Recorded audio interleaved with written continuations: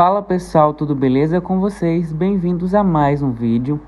É, hoje eu vou ensinar você a como estar aí colocando a localização em uma foto do feed que já foi postada, né? Então, é, a foto já foi postada e você quer colocar lá em cima da foto do feed a localização. Então, bora lá. Primeiro você vai entrar aqui no seu Instagram.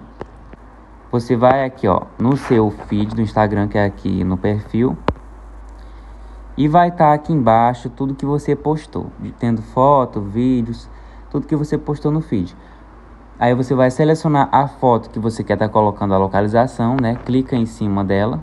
E então você vai aqui nos três pontinhos, vai aqui em editar e clica aqui em cima em adicionar localização. Aqui vai ter é, a, os bairros, ruas, é, nomes das cidades, enfim. Aí você vai colocar aí o que você quer, você pode pesquisar aqui em cima também, ó. No meu caso eu vou colocar aqui é, cidade de Paulo Ramos. E aí eu vou clicar aqui em concluir.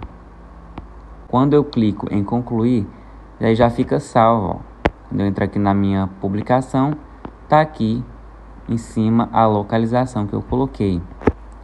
Então, esse foi mais um vídeo. Eu espero que você tenha conseguido. Se você conseguiu, deixa aqui embaixo o seu like, se inscreva no canal e ative o sininho para mais vídeos como esse. Então é isso, muito obrigado e tchau, tchau!